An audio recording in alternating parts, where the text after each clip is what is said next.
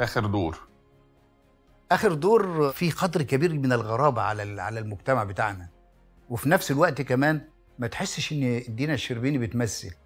تحس إنها فك إيديها خالص. في مفارقات وفي حاجات غريبة جدا آه، يعني مش متجانسة ومش مترابطة. وفكرته من الأول خالص النهاية بتاعتها غير متوقعة. وما تعرفش نهاية مفتوحة. هل في جزء تاني؟ هل ما فيش جزء تاني؟ إيه ال- إيه ال- إيه الحكاية؟ ما تعرفش.